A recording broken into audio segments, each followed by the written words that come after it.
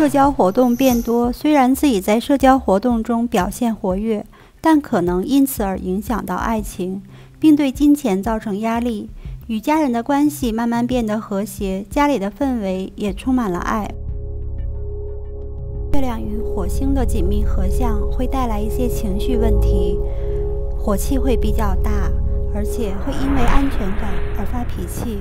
但也可能会积极的为他人争取公平、争取正义。同时，月火对分天王星会带来关系的紧张，需要给彼此喘息的空间，留出个人空间，站在相对比较高的位置，想得远一些，更有助于追求自我和实现自我价值。